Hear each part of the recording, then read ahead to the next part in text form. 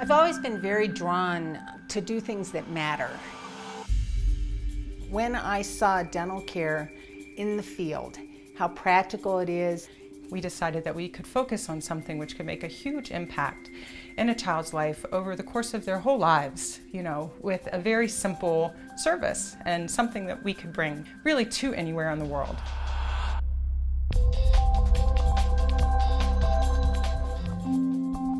Since we began in year 2000, Global, Global Dental Relief has brought free dental care to 61,267 61, children. children. We've worked with 304 volunteer dentists, 107 volunteer hygienists, 498 lay volunteers to bring crucial dental services to children in Nepal, India, India Vietnam, Guatemala, Guatemala, and our newest location in Kenya. The populations that we serve, their lives are completely devoted to survival. So um, poverty is extreme, um, suffering is extreme. Some of these kids um, would come in with literally every tooth, um, you know, raised or worn down to the gum line. Oftentimes infections develop, they start small, but as they grow larger, you live in chronic pain.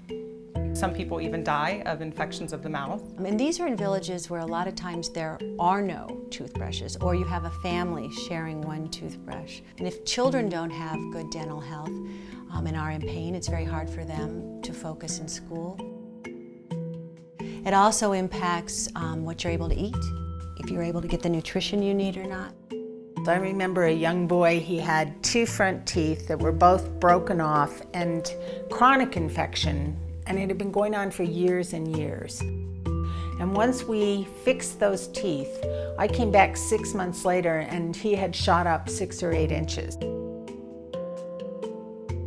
A child that initially come in completely shy and reserved, um, really never able to smile, I'll see them in a year or two after we get their teeth in order, um, where now all of a sudden they feel that they literally have a face they can put forth into the world.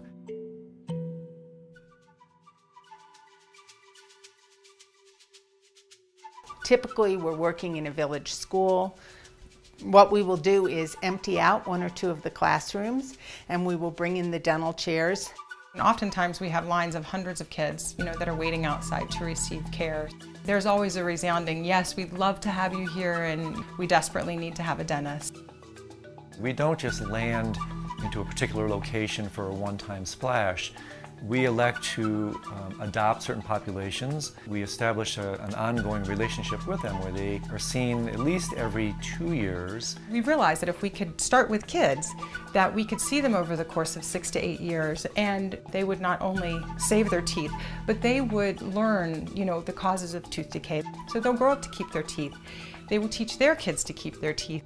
Every dollar that comes in is highly leveraged and we do it with teams of volunteers, uh, dentists, hygienists, and non-dental volunteers. As a volunteer with Global Dental, I donated my time in the clinic and also paid for my travel costs. So we are a very lean operation. It cost us $10 to provide complete care to a child. And for that, the child receives $220 worth of care. So if we adopt an entire school of 250 children, $2,500 can do all the work for that school.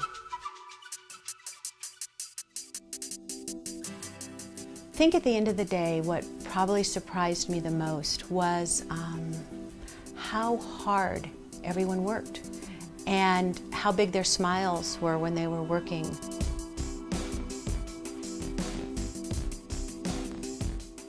And then there's also an opportunity to explore the country for those who want to stay around longer. It's really this fundamental touching of the human heart that has continued to bring me back into these clinical situations. I really do have the ability to step out into the world right now with what I've been given and make a difference in it.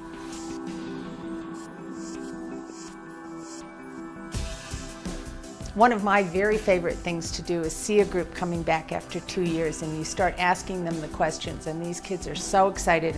And I go out and meet them and ask them, are they brushing their teeth? And they yell, two times a day, two times a day. I just sort of think, wow, you know, really the possibilities are limitless. We could go anywhere, we could develop this anywhere. And so um, I kind of, in many ways, feel like we're just beginning.